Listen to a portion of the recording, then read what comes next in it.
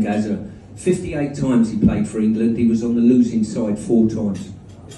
If you ignore penalty shootouts, four times Gaz was on the losing side. That probably tells you everything about him. We went to the World Cup in 1990. Bobby Robson sat us all down and said, Gentlemen, we got seven games in 90 degree heat in here in Italy. And if we're going to do that and win the competition, we're going to have to conserve energy. So we're all, like yourselves, listening, hanging on his every word, did the great ambassador of football, Bobby Robson. Following day, I'm on a sunbed. There's a commotion going on, I open my eyes, on the diving board, Gascoigne, bouncing up and down, giggling, has gone to the toilet, he's mummified himself in bog roll from. You can't see any of him, He's bouncing up and down. Bear in mind we're in a hotel, not just the players in those days, members of the public, everyone else. Gascoigne's bouncing up and down, giggling. He launches himself off the diving board, swims a length underwater, the bog roll floats to the top, and naked Gascoigne pops out the other end, walks through the crowd, still giggling, disappears off somewhere. Everyone round the swimming pool is laughing. That night we had dinner. Bobby Bobby Robson's. I'm thinking to myself, I wonder if Bobby realises what went on that afternoon, and if so, how's he going to deal with the situation? A couple of nights before, he's delivered the bombshell: rest, recuperation, no stupidity, blah blah blah.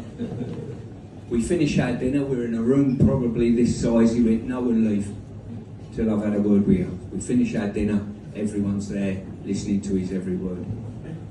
He looks out across the room brilliantly, catches no one's eye line, and just puts the words out there fantastically. Gentlemen, there's a fucking idiot amongst us.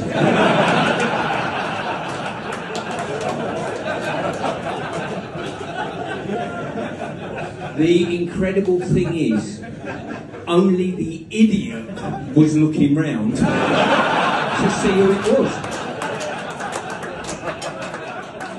Incredible. But what a great. Let me tell you another story on. I love this one.